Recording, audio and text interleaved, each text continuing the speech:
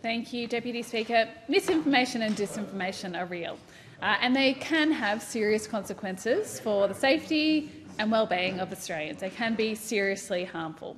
They can be designed to sow division within our communities. They can be designed to undermine our trust in each other, in our public institutions, our organisations, and indeed even in our democracy.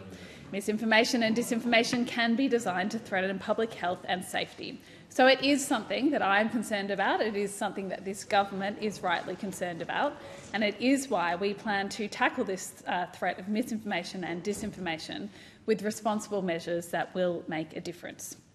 Australians do know that there is misinformation and disinformation out there being spread uh, by algorithms largely through social media. And we have seen that uh, in the context of the pandemic and others uh, over the previous years. A recent University of Canberra study found that 66% of people said they encountered misinformation on social media about COVID 19. 23% encountered what they called a lot of misinformation, 36% encountered some misinformation, and 30% of people were forwarded misinformation from someone they know. False and misleading information about treatments and how to prevent exposure. Information that was designed to sow discord, that was designed to mislead people. We know that misinformation is also a problem in the area of national security, where malicious actors are using digital disinformation to infiltrate and influence public discourse. And this uh, has been found through our own Senate Select Committee on Foreign Interference, which tabled its report on what risks Australia faces in this area.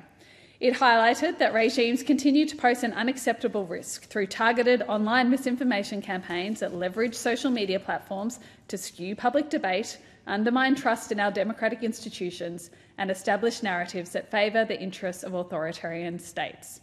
Uh, the report went on to note that the growth in technologies, including artificial intelligence, is making it easier and easier to conduct misinformation campaigns.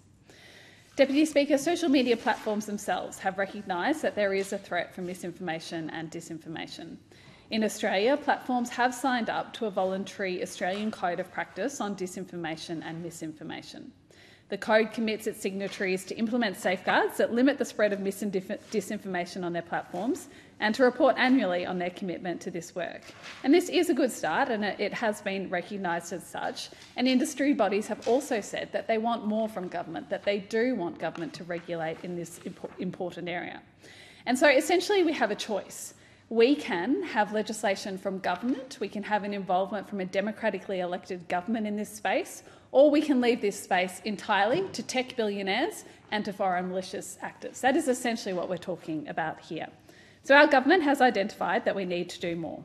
The spread and influence of mis and disinformation by people is something that we need to act on now. Australians do need to be protected from the seriously harmful content that can be spread online, uh, and we can do this as a federal government.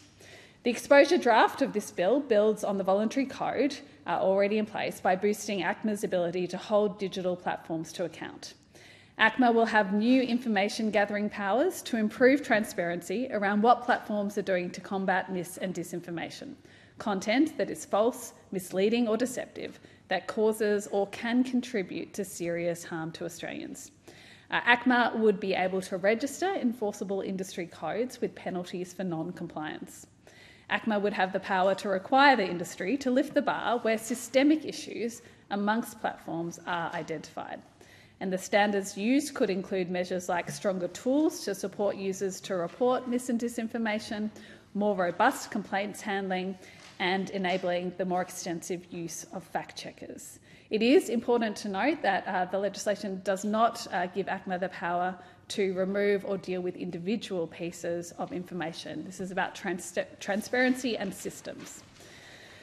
And Deputy Speaker, we saw that the former government previously committed to empowering ACMA to take action on mis and disinformation, and yet now they're opposing it. They have decided, uh, it seems, that because they're in opposition, they no longer need to take these very serious threats seriously. Uh, the Liberals and Nationals now appear to be unfazed by the need to protect Australians from harmful misinformation. Deputy Speaker, industry knows we need to take action. The Australian community is looking to us for action. It is incredibly important for our democracy, for our institutions, for the conversations we have as a country that we do address the threat uh, presented by misinformation and disinformation, uh, and that is what the government is attempting